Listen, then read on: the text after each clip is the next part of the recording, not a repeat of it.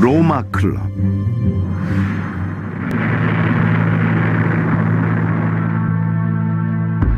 (1968년) 유럽은 사회, 경제, 정치적 혼란에 빠져 있었습니다. 이탈리아 벨라지오의 록펠러 센터에서 인간이 초래한 각종 재난을 해결하기 위해 전 세계의 유명 과학자들이 모였습니다.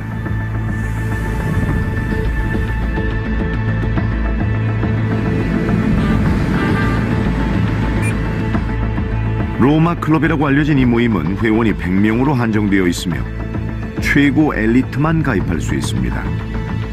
주요 전현직 회원으로는 미하일 고르바초프 구소련 전 대통령, 빌 클린턴 미국 전 대통령, 지구온난화 활동가인 엘고 미국 전 부통령이 있습니다. 가장 강력한 목소리는 바로 자연입니다. 과학자들이 경고하던 사태를 어, 일상에서 직접 마주하게 된다면 그동안 무심했던 우리의 사고 방식은 완전히 바뀔 겁니다. 로마 클럽은 곧 성과를 공개하기 시작했습니다.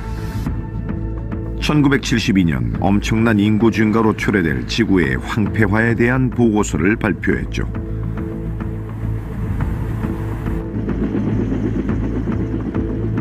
음모론자들은 로마 클럽이 인구를 줄여 사회를 교란에 빠뜨리려 하며 심지어는 자연재해를 일으킨다고 주장합니다.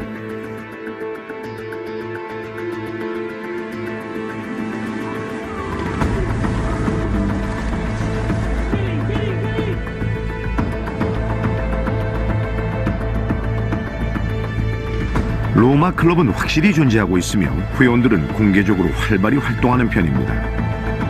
하지만 그들이 목적 달성을 위해 과연 끔찍한 수단까지도 강구하고 있는 걸까요?